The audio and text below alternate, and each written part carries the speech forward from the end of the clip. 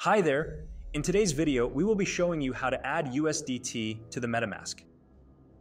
Every chain has a different USDT address, so to avoid the fake token address, go to the CoinMarketCap website, scroll down and click on USDT. Scroll down and you will see the contract address of USDT. But currently it is showing a contract address of USDT on the Ethereum chain only. You can hover on more to see the address on other chains, such as BNB, Solana, Polygon, and others.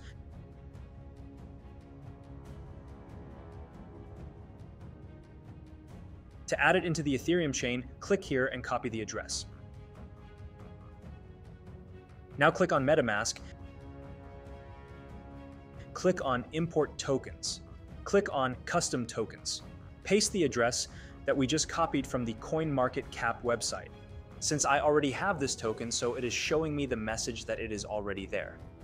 We can try on other chains. Let's select the BNB chain from here. So go to the CoinMarketCap website and we need to hover on more and copy the address on BNB chain. Now click on MetaMask, click on Import Tokens.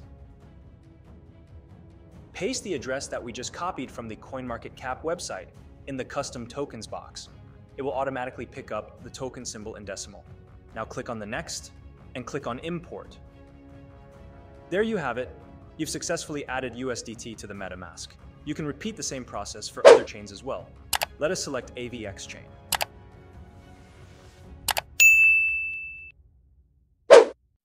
Again, go to the CoinMarketCap website and hover on More. Scroll down and copy the address on AVAX chain. Now again, click on MetaMask.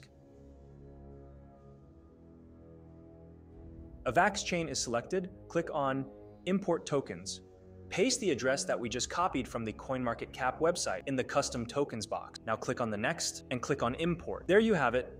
You've successfully added USDT to the MetaMask. If you have any questions or need further assistance, feel free to leave a comment below.